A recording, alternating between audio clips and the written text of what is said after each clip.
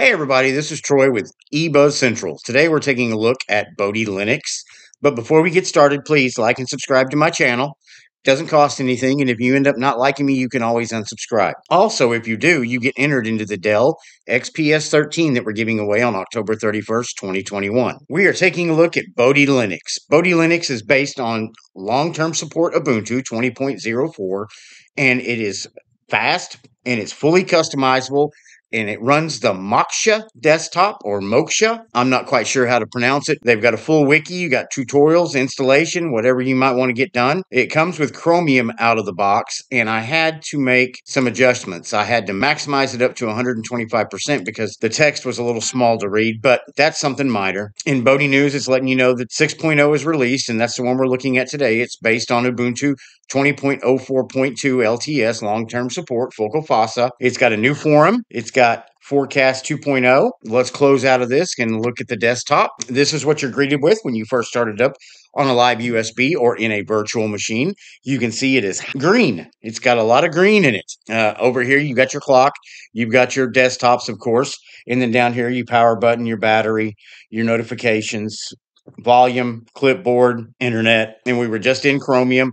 That's what it comes with out of the box. And then we got the terminal. Let's go ahead and pull that up and see if it has HTOP installed. Do like the background on the terminal. That's kind of neat looking. So HTOP. It does have HTOP out of the box. And at present, I've assigned it two cores and a whopping two gigabytes of memory. I like to run these distributions on low spec machines so you can see what you're dealing with with an older PC or older laptop. Right now, at rest, it's only using 353 megabytes of the two gigs I have assigned. That's really impressive. That's hardly anything being used out of the box. CPU wise, we are looking at 0.7%, 1.3, so it's bouncing back and forth. So it's very light on RAM and very light on CPU. And you've got the Thunar file manager. It opens up. As you can see, the icon set is also pretty green. Okay, yeah, you can resize. It just doesn't give you the outer arrow look. It just gives you a little green pop-up. But this is pretty much it. This is Thunar out of the box. You've got your desktop through videos up here. You've got places over here. You can drag and drop any of these over here that you want. So that way you can have your panel over here set up the way you like it. Now we're going to go to the Bodhi menu. Right off the bat, applications. You've got accessories, which is Cherry Tree, LeafPad, PyCom, Calculate, and Xarchiver preferences. You got your additional drivers, Bluetooth adapters, Bluetooth manager, language support, monitor settings, software and updates.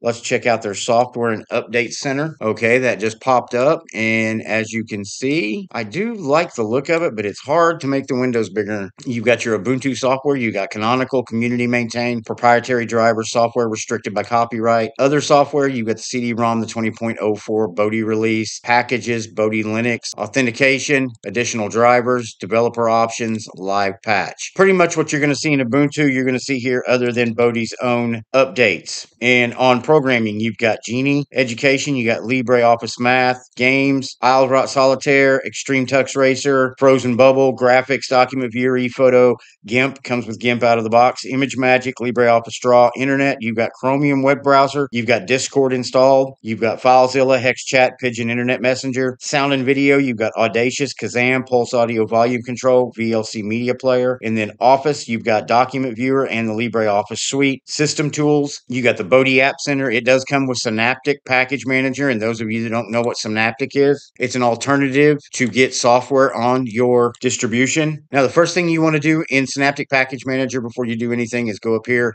click on the reload button. That way it reloads everything. And once you reload that, all you got to do is go up here and search, type in the name of the program you're looking for, and then you'll be able to find it. So let's close out of Synaptic. Let's go back down here to the menu, go back to Application, System Tools. You got bulk rename, you got the GDebi package installer. You can download a Debian package online and just open it and install it with the GDebi package installer. You've got kernel manager, you've got login window, you've got printers, task manager terminology, you've got Thunar file manager, you've got time Timeshift. For those of you that don't know, you can use Timeshift when you first get everything installed and you install all the applications that you want to use. Just go over here, rsync, or if you're on the BTRFS or ButterFS file system, click it. Once you're done, you can click next and it will actually make a snapshot of your system. The first snapshot is decent sized. It's not huge, but it's decent size. And from that point forward, when you take snapshots, it'll only take snapshots of things that have changed in your system. So that way, if you have any kind of failure or you have a catastrophic system problem, you can go in, refresh from Timeshift, and it'll put your system right back to the way it was the last time it saved the snapshot. Timeshift, Thunar Update Manager. Places, Quick Launcher. You've got your all applications, settings, plugins. You can access those from a Quick Launcher right here. Okay, Quick Launcher, you click on it. Once you click on menu down here, it goes away. Let's right click on menu. Start, automatically scroll contents, look, move to, remove, shelf, contents, orientation. Right now it's on the bottom, so I guess you can move the shelf to the right. We want to go back to the bottom. Okay, so that moves it back to the bottom, and then you can move it left, top.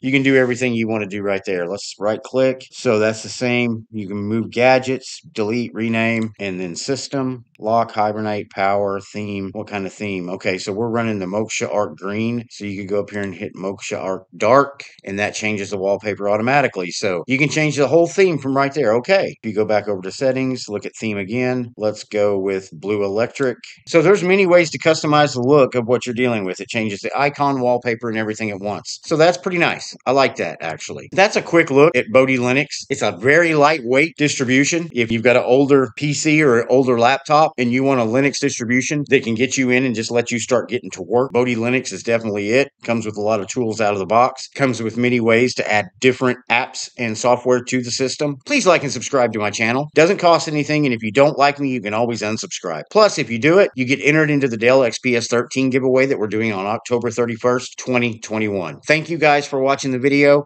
and I will see you in the next video.